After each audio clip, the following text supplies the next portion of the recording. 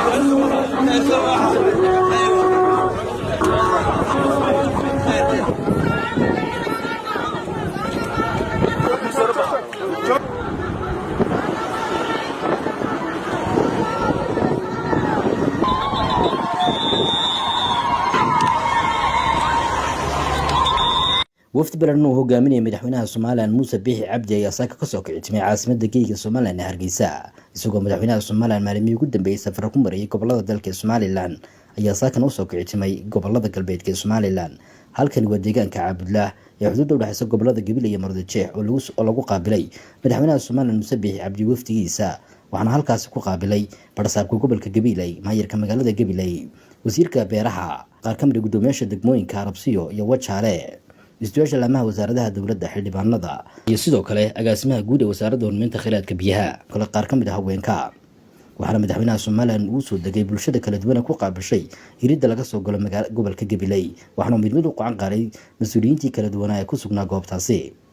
Intaasi kadib madaxweynaha iyo waftigiisa ayaa loo sii galbiyey isagoo u sii dhaafi doona xarunta gobolka awdal ee boorama oo madaxweynaha lagu soo dhaweyn doono maanta islamarkaasna uu kaga qayb geli doono qalinjabinta jaamacadda camuud kadibna uu dib ugu soo laaban doono gobolka gabiley waayo la xajiyay